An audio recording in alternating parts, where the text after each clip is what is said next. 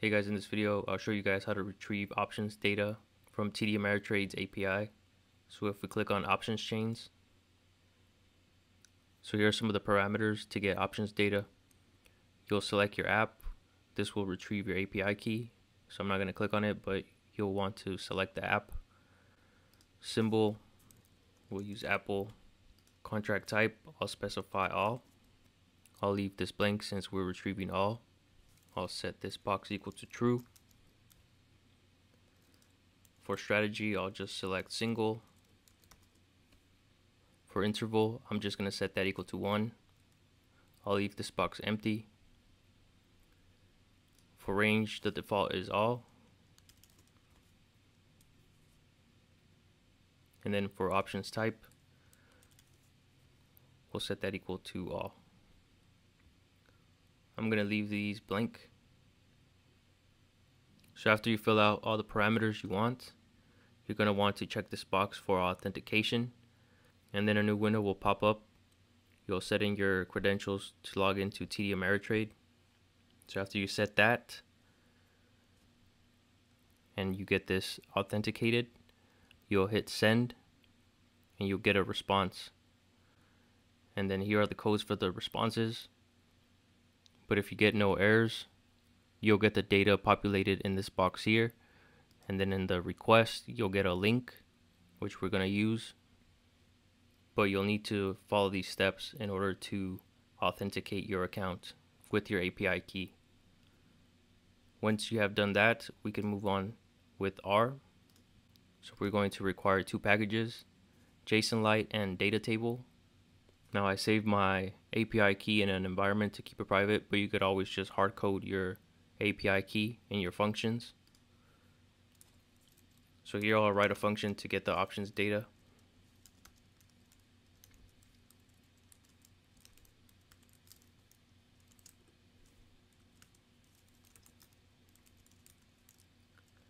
And in this function, all I'm going to pass is the ticker. So I'll provide the URL I'm using in the description below. So you'll paste that. And again, you could always hard code your API key. So this will be our URL. And then here I'm just going to read JSON URL simplify vector. I'll set that equal to true. So we'll run this. Alright, so here I'm going to store the options data in OC. And I'm going to call in Tesla options. So it may take a while depending on the size of the options list. So here we have a list so if we take a look at OC, dollar sign, and then you'll get all the lists that are stored in OC. The ones I'm interested in are just these last two called put expiration date map and call expiration date map. These contain the options data for the ticker you're requesting. So we take a look at that. These are stored by expiration date. So if you hit dollar sign, you'll get all the expiration dates which are quite a few. So here we'll just test one out just to see what the data looks like. So what I'll do now is I'll create a function to combine all the calls and puts into one nice data frame that we can store for later use. If you didn't get any data for this, it's probably because something went wrong with your authentication. There's a ton of material you could read up online depending on what error you get. So just Google the error. If not, then you could just message me and then I'll try and help out. So I'll clear this. So here I'm going to begin writing my function called OC2DF. And I'm going to pass in this options list. So I'll begin by extracting the expirations. So these are going to be for the calls. The calls and the puts have the same number of expiration dates, but I want to separate these in case something goes wrong with either the calls or the puts. I'll be able to pinpoint whether the error came from the calls or from the puts. So that's why I'm separating these expirations, but essentially they're the same thing. So I'll do names,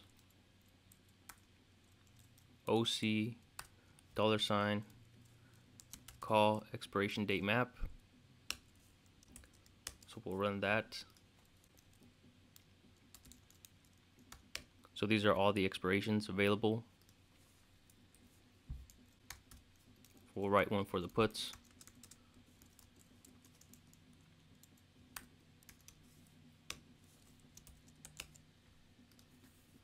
Alright, so this is going to be for the calls. So I'm going to store calls by running l apply as list. I'll pass in my call expirations. I'll create a function passing in each expiration date. So here I'll do OC dollar sign call expiration date map. I'm going to paste X, which is our expiration, and this will subset that expiration date calls. So here I'll set X equal to the first call expiration.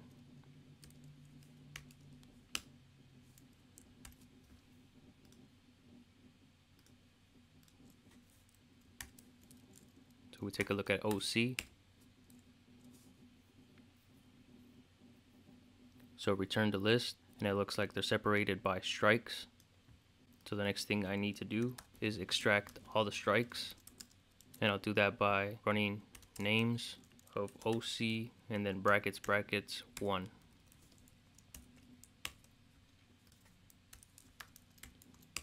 So these are all the strikes that are found in that expiration.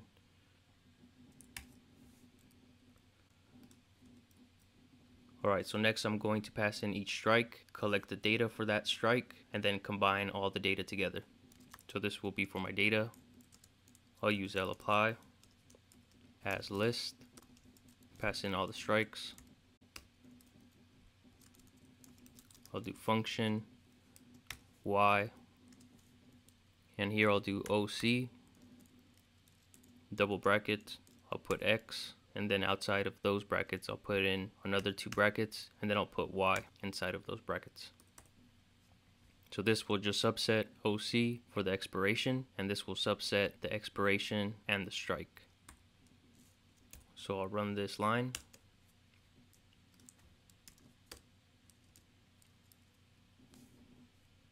Now we get the data for all the strikes in that particular expiration. So now we'll just have to combine them by running r bind list. I'll pass in the data, and then I'll use use names set that equal to true. And then just in case we'll run fill true. So if we run that line now we get a nice data frame with all the data for all the strikes and that expiration. So we're gonna have to repeat this process for all the expiration dates and that will save into this variable called calls so I'll go ahead and run this block. Looks like I forgot a Y. So I'll run this. We take a look at calls.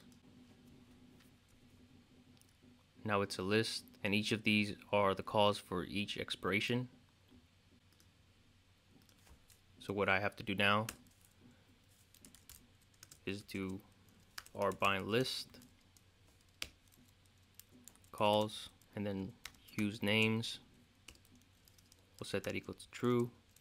Fill, we'll set that equal to true. So if we run that line, now we get a nice data frame with all the options data.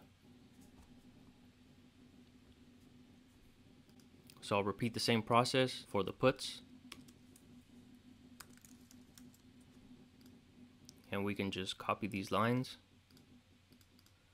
paste them here, and then replace calls with puts.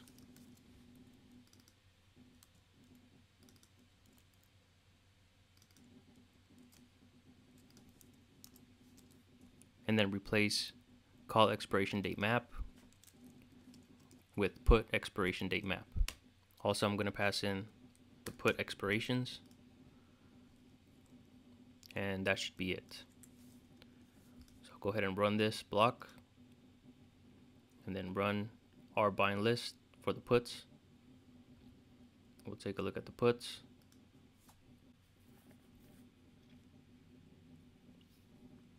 And it looks like we got everything because the number of calls matches the number of puts and so does our number of columns for each. Alright, so now I'm going to combine the puts and the calls into one data frame by running r bind calls and puts. So when I ran this line, this actually saved into call. So I have to rerun this so it saves to calls with an S. So if I run this line, now we get one data frame with all the calls and the puts.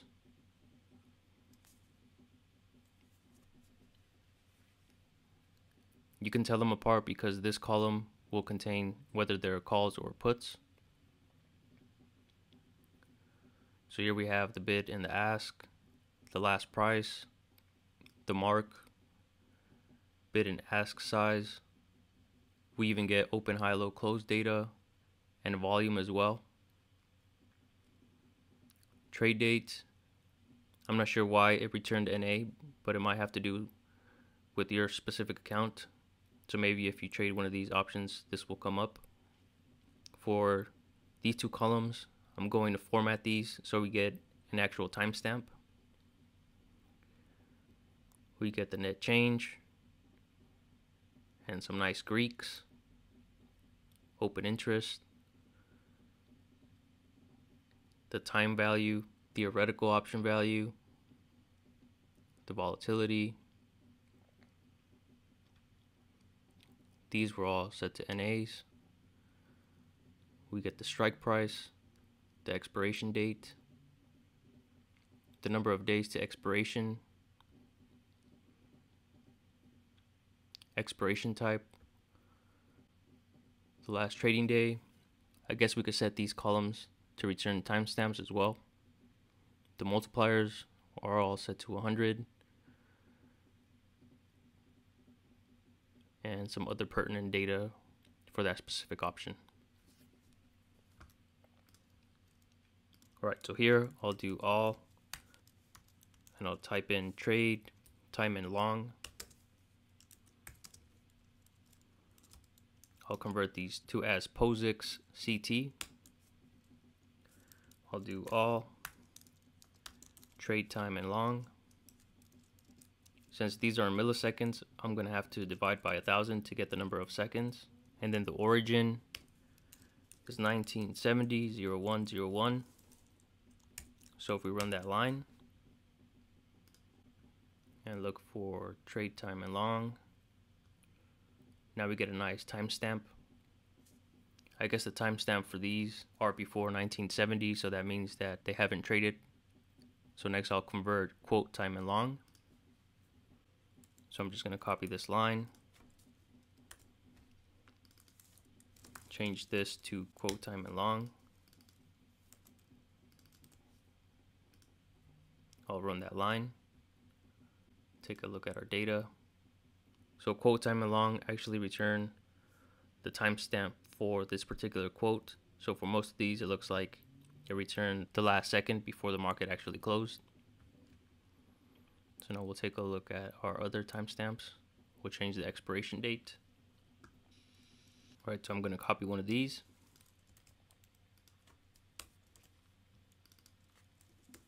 This will be for expiration date. Same thing, divide by a thousand, set the origin equal to 1970.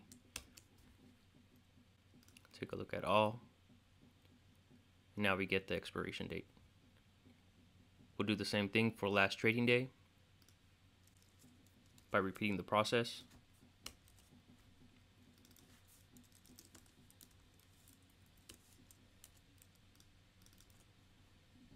We'll run that line, take a look at our data, and now we get a timestamp for that column. So it looks like we don't need to format anything else. So we'll just return all. So I'll go ahead and run this function.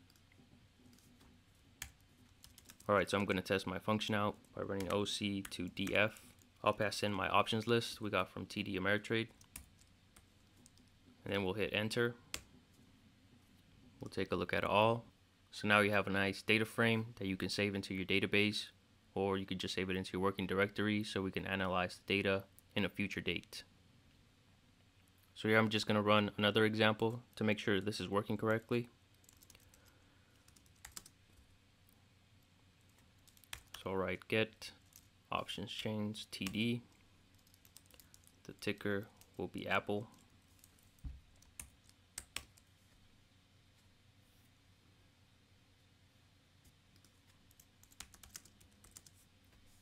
And then I'll run OC to DF. OC is equal to Apple. Take a look at Apple. And now we have options data for Apple. Alright, so we can even try and subset our data to inquire about some options by running Apple put call I'm going to search for calls and then here I'll place an ampersand. Or an apple strike price equals 395